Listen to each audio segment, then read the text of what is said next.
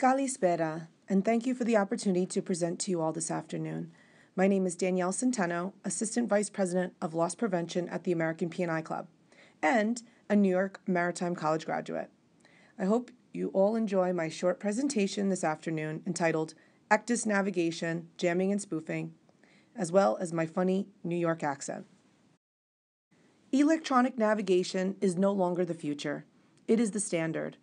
A vessel fitted with an official electronic chart display information system, or ECDIS, must be integrated with systems providing the vessel's heading through the gyrocompass, speed information through a speed log, and continuous position fixing, GNSS, commonly referred to as GPS. ECDIS, like other bridge equipment systems, rely heavily on its assimilation with GPS. Interruptions or interference to these signals can develop into a major risk to safe navigation. There are a number of factors from both natural and human made sources that could impact GPS signals. GPS signals received on Earth are generally weak and susceptible to interference.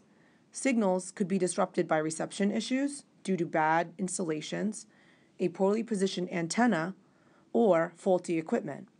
It is also possible for criminals intending to lead ships astray to interfere with signals by using spoofing or jamming tactics.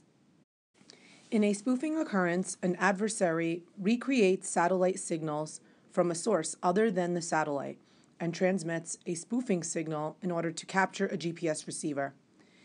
The signal calculates a false position and tricks the GPS receiver into believing it is elsewhere than where it truly is. Jamming works by overpowering local satellite signals with an interfering signal that leads to a failure of the satellite based navigation on board, essentially, blocking the satellite signal so that a receiver can no longer operate. The best defense for these attacks may already be within your equipment's capabilities. The mitigation solution for the two situations differ accordingly. There are modern anti jam technologies available that work by preserving the antenna's view of the GPS satellites.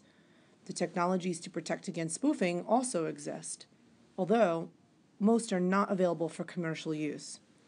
Multi constellation receivers have made it much harder for adversaries to spoof because of their ability to track multiple GNSS simultaneously.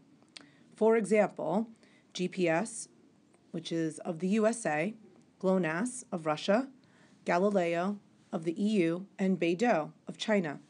It is believed that in the near future, all new devices are expected to have this capability.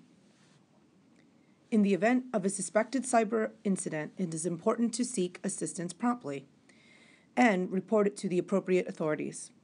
Ensure relevant authorities for cybersecurity incidents are included in the emergency contacts as well as the Cyber Incident Response Plan.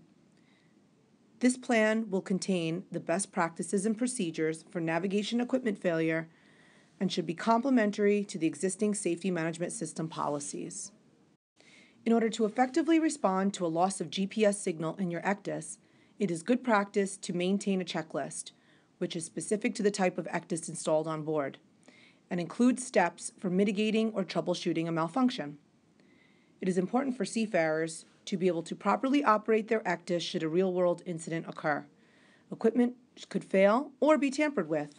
For this reason, we must always use all available means of navigation and maintain proficiency in order to navigate safely should a failure occur. This concludes my presentation for this afternoon. F. Efkaristo, and I look forward to your questions.